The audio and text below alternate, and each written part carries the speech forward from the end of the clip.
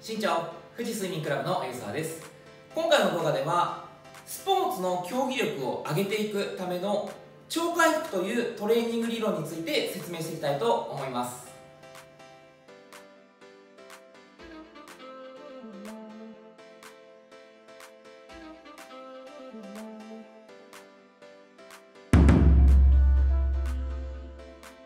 超回復とは競技力を上げるための体のパフォーマンスというのはトレーニング中にパフォーマンスが上がっていくのではなくトレーニングが終了して体が受けたダメージを回復させている時に体のパフォーマンスが上がって競技力が上がっていくという考え方です。ボードを使って詳しく説明していきます。横の軸が時間そして縦の軸が体力になります。トレーニングを行うことによって体の筋力やエネルギーというのを使っていきます。そのため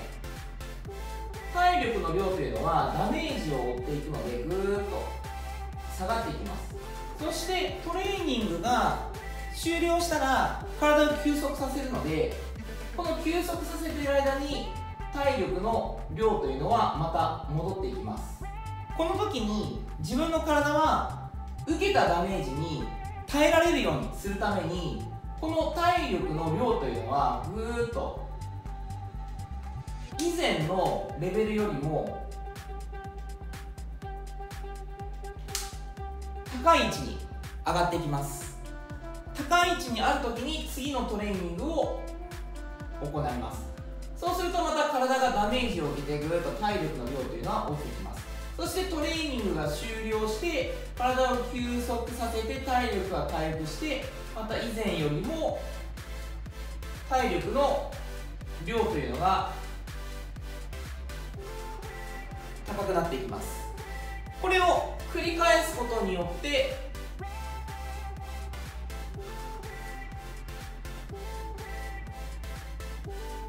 体のパフォーマンスというのを上げていくことができます。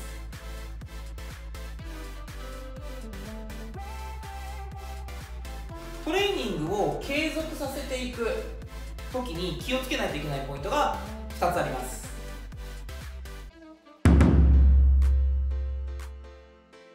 超回復のトレーニング理論で大切なのは体力の量が一番上がっている時に次のトレーニングを行っていくということです。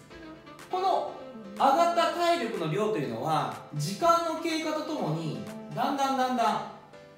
元のところまで戻っていきます。元の体力のレベルに戻った状態でまたトレーニングを行って休息してトレーニングの体力のレベルが上がる。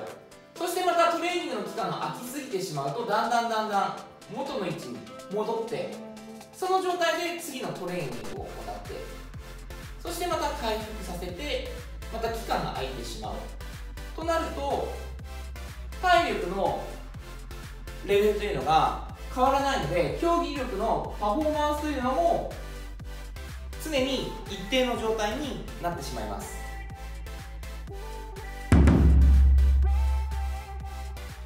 しっかり体を回復させてから次のトレーニングを行っていくということが大切なんですけれども体が回復しきる前に次のトレーニングを行ってしまうと体のパフォーマンスというのはどんどんどんどん下がってしまいます。体のダメージを回復できていないので怪我をしたり体のパフォーマンスの低下によって良い結果が出ない状態になってしまいます。トレーニングによってどれぐらい体力の量が落ちていくのかというのは行ったトレーニングの強度によって大きく変わります。そして回復させるまでにどれぐらい時間がかかるのかというのは体のケアの仕方や日頃の食事生活習慣によってこちらも大きく変わります。そして個人差もあります。この部分に関してはまた別の動画でご説明したいと思います。まずは皆さんが行っているトレーニングの強度がどれぐらいなのかそして体を回復しっかりさせられているのかというところに目を向けていただけたらと思います。では今回の動画はこれで終わりになります。また次回の動画でお会いしましょう。